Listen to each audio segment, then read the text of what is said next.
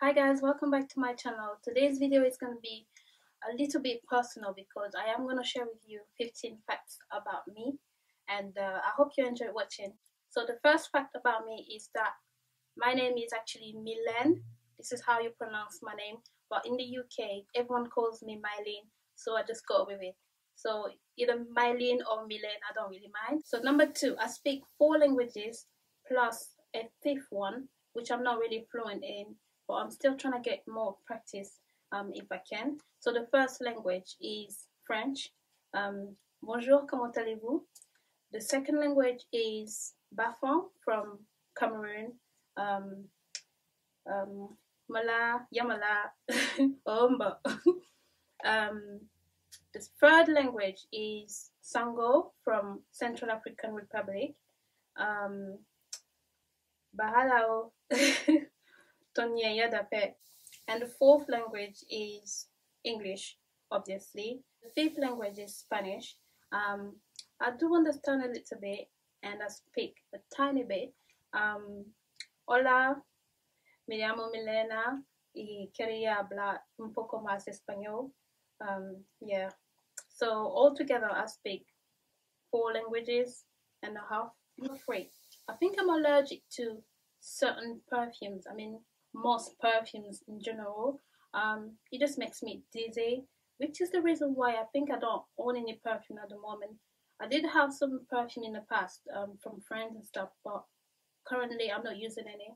Um, I own, I try to use body sprays and um, stuff like that. And again, it still depend on the smell. I don't like strong smells because it just makes me dizzy. And uh, yeah, hopefully I'll be able to own a perfume. And I love the Chanel perfume, but every time I smell it for more than five minutes, that's it. I start getting really dizzy. Four. When I first came to England about five or six years ago, um, I couldn't speak English properly. I did study English when I was in Paris um, in high school, but when I came here, I was kind of lost at the beginning. But my first year was kind of tough because I had to like adjust to everyone's um, kind of accent, and um, I thought everyone was speaking too fast, and I couldn't really pick up all the language very very quickly. Five, I love science, um, especially biology and chemistry. I love these two subjects. I've always loved them since high school, and uh, yeah, I just love studying the human body, the anatomy, um, studying bacteria. I love bacteria. I love I love virus. I love blood. I love everything. With I mean, I just love science. I mean, I love to know why certain stuff are set up in a certain way. Um, why? How do we breathe? Why bits like that. You know, I just love um, discovering all this stuff, and uh, which is the reason why I decided to call my blog Style and DNA. Style because I love fashion, and DNA because I love bacteria. I love chemical reactions, all this stuff. So yeah, um, my interest in beauty actually started um, about a year ago. I mean, before then, I wasn't too keen on um, putting on mascara, mascara or foundation. I, I couldn't be bothered. I mean, I wasn't too interested in that, and uh, I really, really got into putting on makeup and um, learning how to put an eyeshadow on about a year ago. Seven, I don't like snails. I'm scared of snails. I think I have a phobia of snails. Whenever it starts to rain, I get really anxious um, because I'm constantly thinking that I might come across a snail, and I'm always looking on the floor. And yeah, I just don't like snails because when I if I see one, I feel like I'm literally gonna throw up or something. I can't even look at them for more than one second. I don't like snails. I cannot remember the last time I went into a hair salon. Um, I think I've been doing my hair, styling my hair myself for the past two to three years, and um, I probably have got my hair done by a friend or two, maybe once or twice. So since then, I've always styled myself my, my hair myself. Number nine, I have a slight OCD. I have to keep everything tidy in my room before I leave. Um, even if I'm going to work early in the morning, everything has to be um, at the right place before I leave. Otherwise, I'll get quite kind of, um, I don't know, it just bothers me a little, a little bit to have everything messed up. I don't like to have a mess in my room. I'm not that crazy about, you know, having everything at the right places all the time. But most of the time, my room has to be tidy and just, I have an OCD. I do admit that. I love white, black, neutral, grey. I love these colors and um, my this kind of addiction kind of started just recently basically. Um, before I was kind of just lost into any colors but nowadays I'm more into those this kind of color palette and uh, I can add um, certain colors you know every now and then. I have a really bad relationship with foundation. Um, I did own like a powder um, foundation to powder by MAC about three years ago. I did own one and it wasn't too bad.